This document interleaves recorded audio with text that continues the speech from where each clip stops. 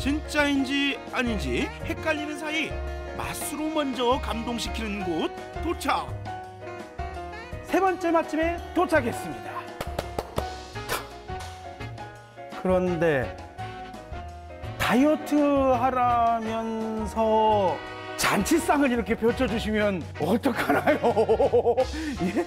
얼핏 봐도 제주도 가문잔치상을 이렇게 쫙 펼쳐주셨는데 햄, 탕수육, 비빔밥에 그 헤비하다는 몸국 그 잔치상 제주 경조사에 꼭 나온다는 그 몸국 돼지고기 그푹 삶아진 그 곰탕처럼 생긴 그, 그 몸국 몸국 먹고 다이어트 하라고? 콩고기 몸국이에요? 몸국인데 고기가 하나도 안 들어갔대요 근데 비주얼 봐. 아 근데 이건 진짜 먹어봐야겠다. 아, 저좀 칼칼하게 고추 좀 썰어서 넣고 고춧가루 좀 뿌려서 먹으면 진짜 맛있는데. 야 이거 몸국 잘하는 집인데? 야 이거 저기 콩고기를 했대 콩고기를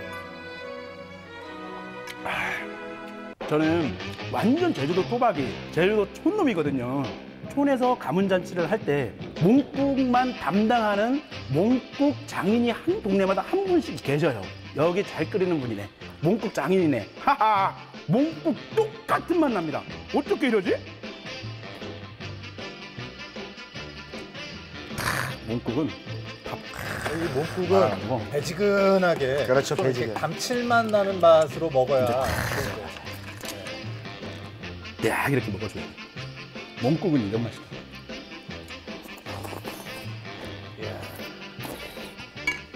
김성웅 선배님, 어? 진짜 꼭 한번 와서 드셔보세요. 선배님은 몽국의 맛을 아시죠? 몸국 좋아해요? 좋아하죠 진짜 똑같아요. 꼭 가보도록 하죠 노형동에 있다고 합니다 노형동 표고 탕수입니다. 표고 탕수. 그런데 여러분 이 소스 보세요. 소스. 표고버섯 탕수육에 안성맞춤. 부어볼게요.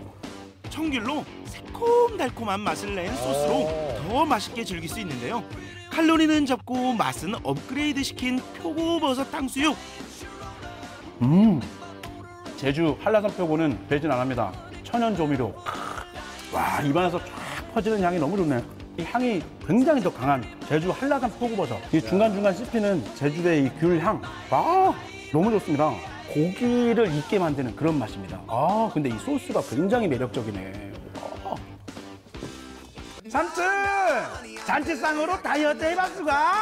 난 지금 햄수다.